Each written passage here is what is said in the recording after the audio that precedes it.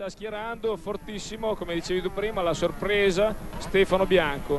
In seconda fila al suo debutto su un circuito così difficile come è il Suzuka. Uno che eh, sicuramente di talento ne ha tanto, perché altrimenti non potrebbe fare un exploit del genere. Alberto Porta su Stefano Bianco.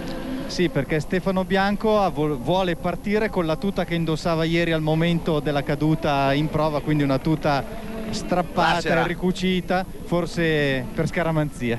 Allora attenzione alla moto con il numero 33, bianca, rossa e blu per chi volesse individuare Stefano Bianco, questo invece è Masao Azuma, abbiamo detto occupa la quinta posizione in griglia, problema gomme, allora non c'è il diluvio, non c'è l'acquazzone, c'è la pista bagnatina che forse si può asciugare, intanto ovviamente si entra con le gomme scolpite, anche Manuel Poggiali raggiunge lo schieramento, e ecco nelle immagini direi proprio Stefano Bianco.